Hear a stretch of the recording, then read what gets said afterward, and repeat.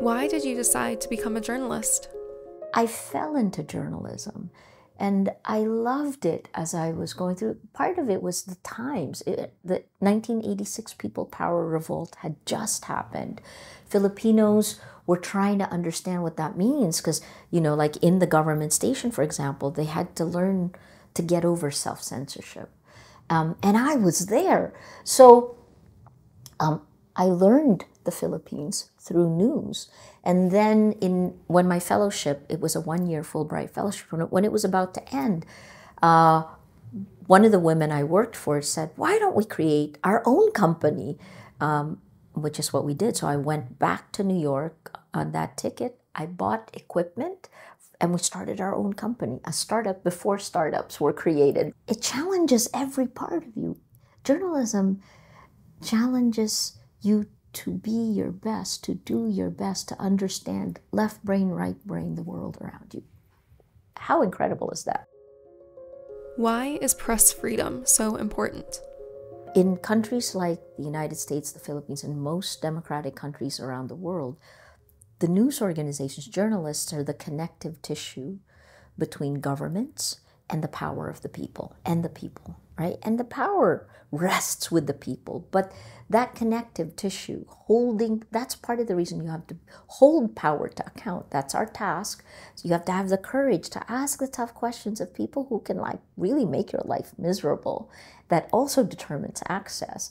But you know that why do you ask those tough questions? Because you are responsible to the public you serve. Journalists help make sure that that governance is transparent, that leaders are held accountable, and that they're consistent. Um, freedom of speech in the Philippines is guaranteed in the Bill of Rights as it is in the United States. Uh, it is the foundation of every single right that a Filipino has. Because if you don't have that on the on the citizens' part, if you don't feel like you can say what you think, because you're going to be attacked, then your rights are, are being trampled upon.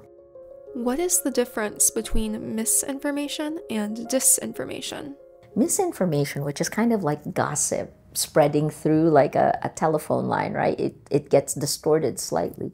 That's very different from disinformation, which is like a, a push of power to manipulate you, a lie seeded for a purpose. How can we combat disinformation? There's so much we can do. You know, I it, when I was trying to write the Nobel lecture, I was trying to figure out telling people about the problem isn't enough. Cuz you'll only get depressed, right? You you don't want learned helplessness. And I came up with this phrase, a person to person defense of our democracy. Um, and that came out of something I learned when I was in college, the honor code um, my university, I went to Princeton. We had an honor code, and you know the, the, the, the professors leave the room, and at the end, at the bottom of every test, every paper you write, I pledge on my honor that I've not cheated. So that honor code is not just about you. It's also about everyone you see around you. If you see someone cheating, if you don't report it, you have violated the honor code.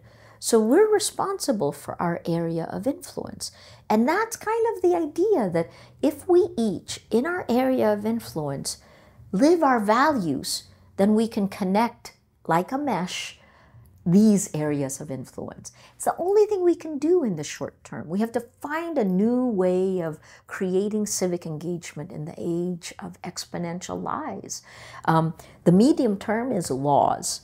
And that's what the EU has come up with. The EU is the most progressive of the laws that are out there now. The Democracy Action Plan came up with the Digital Services Act and the Digital Markets Act.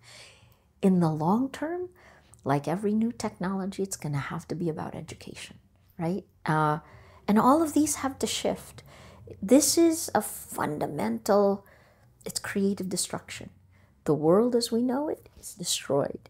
And it, the battle is in our minds. So if we accept that, that we're stepping on the rubble of the world that was, then we can begin to create a new world. And that's the exciting part of today, that you can actually create what the world can become.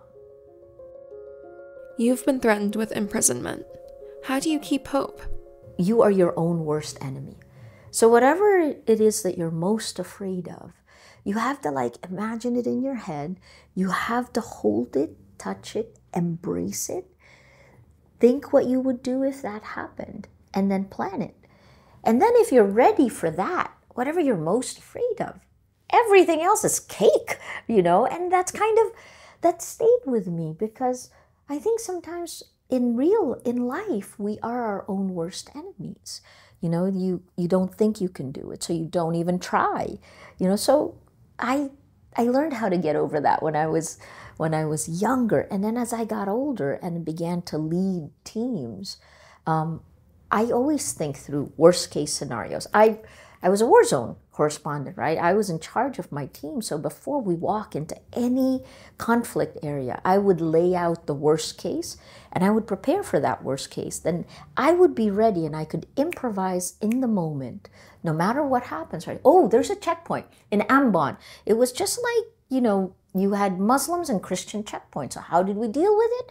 We had a Muslim car and a Christian car. And depending on which checkpoint we were going to, the Muslim car would lead for a Muslim checkpoint, the Christian car would lead for a Christian checkpoint. I use this as an example because if you plan ahead and you embrace your fear, then everything else is okay. I think the hardest part for us is to be paralyzed by fear or to stop doing something because you're afraid of whatever infinite possibilities, uh, infinite threats there could be. Um, I think this is one of the things that annoyed the Duterte administration. I, it's not that I, it's not that I'm not afraid. It's that you know that fear is the worst thing. So you manage your fear and you move forward. You don't lose track of your North Star. What is the goal? You keep going.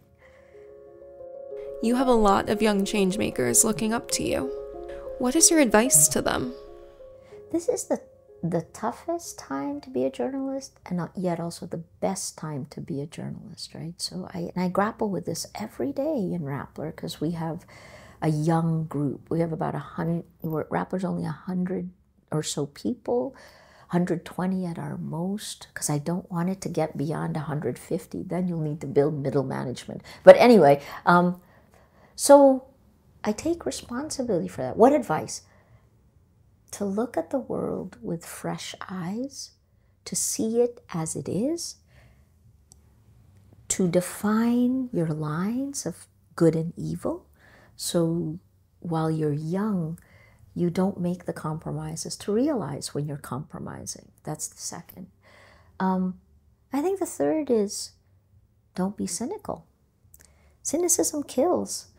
You know, it's uh, in some ways, there's I prefer pragmatism over cynicism. Pragmatism gives you room to move. Cynicism is exactly what happens on social media. You expect the worst of people, so you will get the worst of people. We create the world we want, you know? So if I treat you like I don't trust you, how would you react? So I guess that's, uh, I mean, I guess, look, if you're the younger generation right now, the challenge for you in an attention economy is the search for meaning. It's always been the challenge for human beings. It's our search for meaning. And where you spend your time will determine what gives your life meaning. Understand that these information ecosystem, these technology platforms are sucking your spirit. You know, that you may feel like you have control and you can curate your life, but that's a time suck, right? The more time you spend in this, the less time you have in the real world. Build a life. So the dangers are real for this generation. I mean, let's not even talk climate change, right? Will, will, we, will our planet even survive? The dangers are very real, but they have a chance to do better than we did. I think this generation that created social media, that's the in between, they've, they've got to stop the greed. uh, I don't know how we'll get through it, but we must. What gives you hope about the future? I mean, in my world, Rappler, we're still here. We haven't compromised.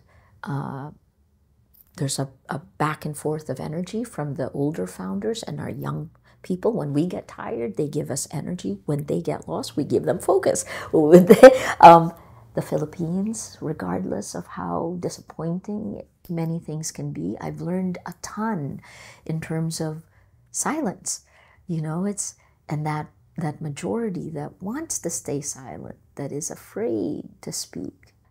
I believe in the goodness of human nature. I have seen it. I've been in war zones in disaster areas where people are just incredibly generous. I've been in a place where a family has no food and they offer me their water. You know, it's like, it's incredible. And I have no choice also, you know, because what else is there? Would you just give up? Then you don't fight the battle at all. How do we build trust within the global community? Everyone on, on the side of the good in many ways has to do much better. The, the side of democracy sees all the nuances and they don't come out as clearly as the side of the bad as because now I talk about social media, right? Everything is compressed. Part of the reason these meta narratives that, that lies are built on they, they're seeded and then they pull them up every time and people begin to think they're true what are the good guys doing right we haven't old power hasn't adjusted enough. Old power still thinks it has power.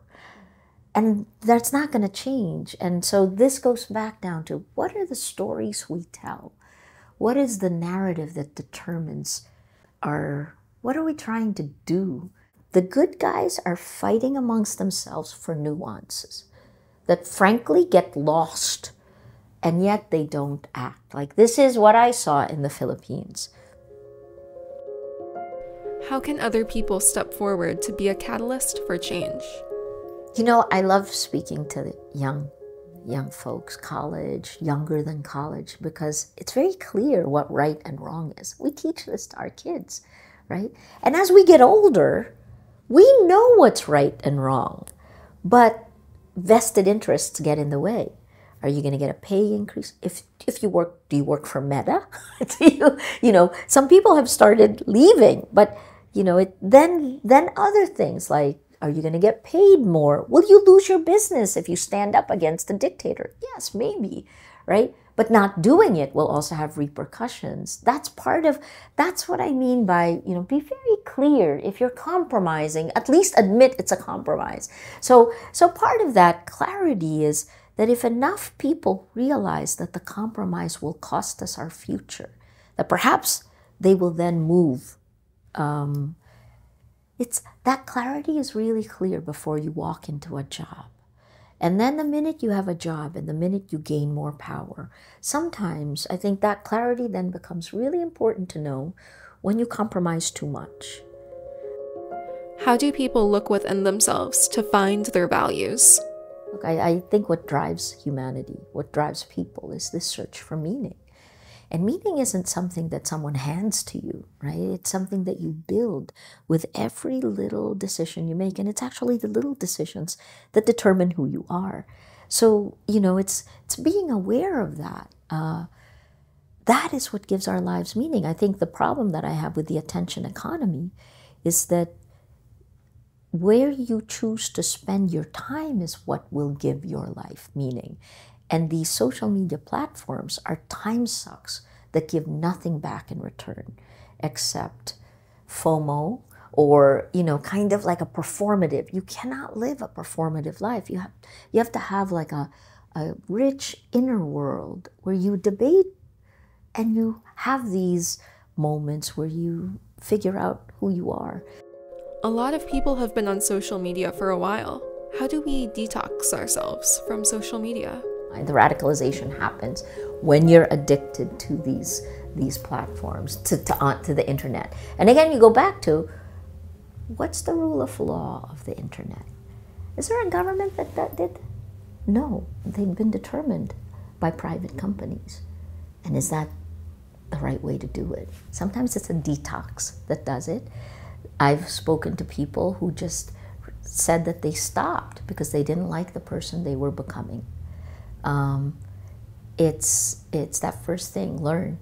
The more you learn, the more you realize you understand its impact on you, and then somehow deleting Facebook also isn't the right way to, to deal with this because that's the information superhighway right now. What are we going to do? This is where collective action kicks in. This is why we signed the 10 point action plan. Why is lifelong learning so important for people? Lifelong learning, I would say not just lifelong learning, I would say awareness of, um, of, of the place and time. I mean, it's my, the way you view the world is, mo for most of us, experiential. And the more self aware you can be, the more you realize that that this is a continuum of an identity that you create, that this is the work of life, that your life, your thinking is the work of art that you're creating. Then it's then it's easier to learn. And everything you learn then affects everything you have learned. The reason I said learn is because too many people get stuck. Too many people give up too many. I've seen this in Rappler and people I manage, and I try very hard to then say, what's the challenge? When circumstances are bleak, how do you push forward? Even in the happy endings of everything, there's always the step after. This I've learned. Who would have thought I'd be arrested? It was the next day. Um, and so I guess what I do is um, it's a little bit like PTSD because you get punched in the gut a lot. Like, and yet you also know that how you react will determine the next steps. Look at the world as it is, not as it was, and imagine the best it can be.